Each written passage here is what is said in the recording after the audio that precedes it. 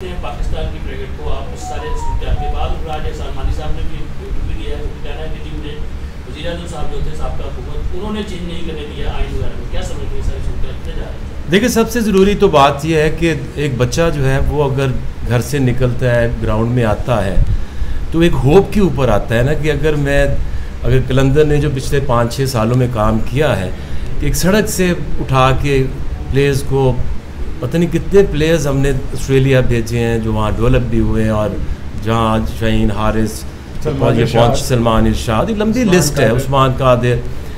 तो जब आप पीसीबी ने भी अगर ट्रायल किए हैं तो एक क्रेडिबिलिटी होती है कि ये अगर मैं ट्रायल पे जाता हूँ मैं पिक होता हूँ तो फिर मेरा एक पाथवे होगा। ये दो साल में मुझे या मैं पीएसएल में कहीं नज़र आऊँगा या मैं कहीं मेलबर्न में आऊँगा यॉर्कशर में आऊँगा या टाइटन्स में खेलता नज़र आऊँगा तो वो अपॉर्चुनिटी की बात है। दूसरी आपने जो बात की अ, मानी साहब की तो अ, ये बात जब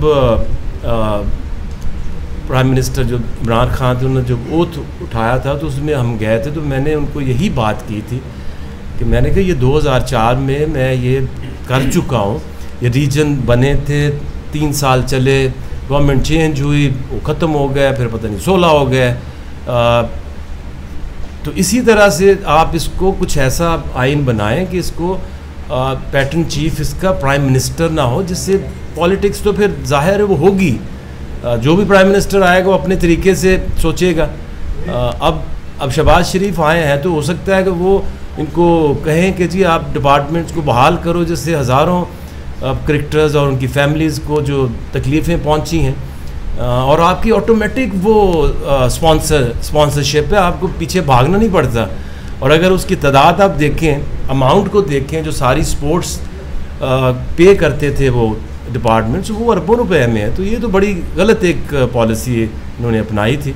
मेरा ख्याल है कि अब ये जो गवर्नमेंट है, इनको एक तो जो रीजनल सेटअप है आपका, आपके हिडॉक लगी हुई है। ना क्लब बहाल है ना कोई एसोसिएशन बहाल है। अ, उनको बहाल करें और डिपार्टमेंट्स को दोबारा से शुरू करें ताकि जो क्रिकेटर्स हैं वो क्रिकेट है बाकी स्पोर्ट्स भी उसके साथ मुतासर हुई है। लाला ने अच्छा मुझे नहीं मैंने नहीं सुन की नहीं देखिए बात यह है कि पाकिस्तान में एक ज़माना था कि और उसका भी पाकिस्तान में एक ज़माना था कि जब आपके यहाँ पे वो लगने शुरू हुए थे सिनेमाज बनने शुरू हुए थे, मेरा ख्याल भुट्टो के दौर में। हर जगह सिनेमा बन गया। उसके बाद फिर आपकी सीएनजी का ज़माना आ गया। हर सड़क पे सीएनजी खुल गई। फिर आपका ये शादी घरों का ज़माना आ गया। अब हर दूसरी सड़क पे शादी घर है। अब पीएसएल का ज़माना है तो आपको हर महल्ले से लीगें मिलेंगी। तो ये ये अच्छी बात है कि ज़्यादा से ज़्यादा लोगों का इंटरेस्ट उसके अंदर आ रहा है। और पीएसएल इतना खूबसूरत प्रोडक्ट है कि उसने अब ये ट्रांसफॉर्मेशन तो होनी चाहिए थी कि दूसरी स्पोर्ट्स की तरफ़ हम जाते हैं। हम हॉकी की तरफ़ जाते हैं हम फुटबॉल की तरफ़ जाते हैं हम बास्केटबॉल की तरफ़ जाते हैं। हम उल्टा ले गए हम उसी उसी को लेके तो पूरे मुल्क में फैल गए कि हर जगह हम ये करवाएँ। सो so, uh, मेरे ख्याल में तो अ, लाला ने सोचा तो ठीक ही सोचा होगा वो क्रिकेटर है वो ज़्यादा बेहतर सोच सकते हैं।